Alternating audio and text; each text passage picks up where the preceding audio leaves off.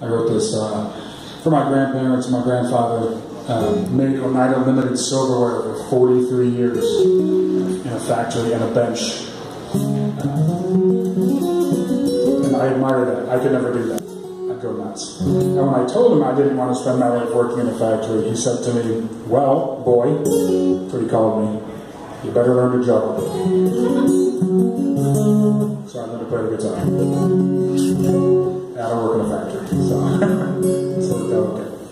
This song is called Blood, Sweat, and 40 Years.